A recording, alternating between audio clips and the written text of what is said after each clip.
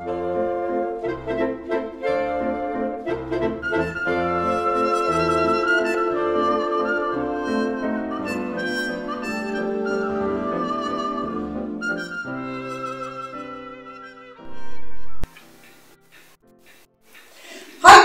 bei unserem Adventsgauklerkalender kriegt ihr eine Balancieraufgabe.